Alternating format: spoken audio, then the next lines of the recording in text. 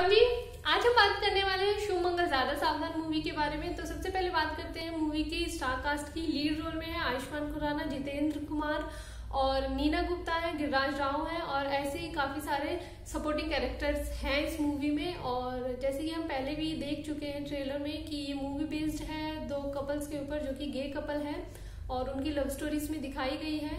सबसे पहले तो एक जो कंटेंट है, वो भी काफ़ी यूनिक है। हमने इस तरह का कंटेंट पहले कभी नहीं देखा है। तो इस चीज़ को भी देखना, अगर आपको पसंद हो या आप देखना चाहते हो तो आप ये मूवी ज़रूर देखने जाएँ। अब बात करते हैं मूवी की स्टोरी की। मूवी की शुरुआत होती है दिल्ली से तो जीतू यानी कि जो जितेंद्र कुमार है, जीतू वो आयुष्मान खुराना के साथ दिल्ली में ही रहते हैं और दिल्ली में वो दोनों एक कपल की तरह रहते हैं और सडनली जीतू की बहन की शादी तय हो जाती है और उनके पिताजी उन्हें प्रयागराज जहाँ वो, उनका घर है, वहाँ बुलाते हैं और कहते हैं कि उन्हें आना ज़रूर होगा। लेकिन वो जाना नहीं चाहते क्योंकि वो चाहते थे कि उनकी जो रिलेशनशिप है उसके बारे में किसी को ना पता चले।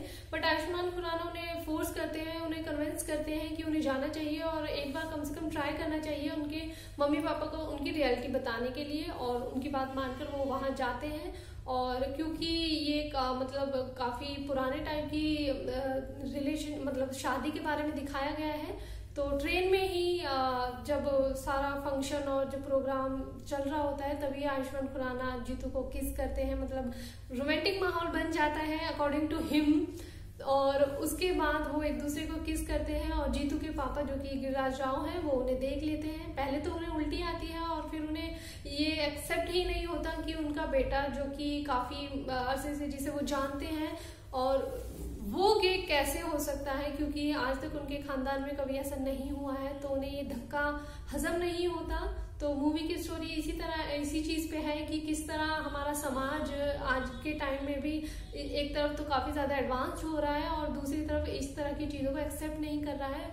फैमिली किस तरह दो लोगों के बीच, चाहे वो लड़का लड़की हो या लड़का लड़का ही हो, किसी तरह का भी रिलेशन हो, उसके बीच में आ जाती है और एक्सेप्ट करने में उन्हें बहुत प्रॉब्लम होती है।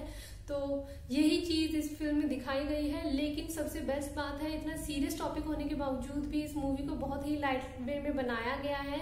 आपको ये इतना सीरियस नहीं करेगी, इस फ़िल्म में बहुत ज़्यादा कॉमेडी भी है और काफ़ी अच्छे से ह्यूमर को यूज़ किया गया है, और वर्ड्स का भी बहुत अच्छे से सिलेक्शन किया गया है। तो आपको कहीं नहीं लगेगा कि ये आपको वल्गर टाइप में ले जा रही है।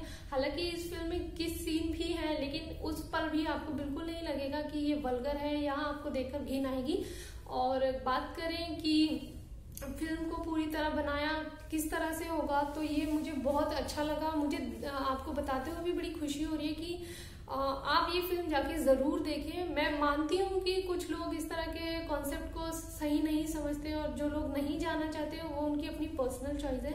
लेकिन सिर्फ़ इंटरटेनमेंट के लिए अगर आप जाना चाहते हैं तो इस मूवी को ज़रूर देखें और मेरी वीडियो को लाइक शेयर कमेंट सब्सक्राइब ज़रूर करें। Thank you